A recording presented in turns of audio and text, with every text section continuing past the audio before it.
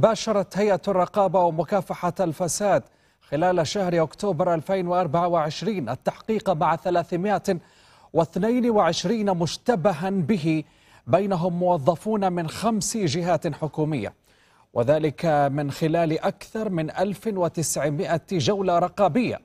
وأوضحت نزاهة أنه جرى إيقاف 121 مواطنا ومقيما منهم من أطلق سراحه بالكفالة الضامنة لتورطهم بتهم الرشوة واستغلال النفوذ الوظيفي ومشيرة إلى أنه يجري استكمال الإجراءات النظامية تمهيدا لإحالتهم إلى القضاء.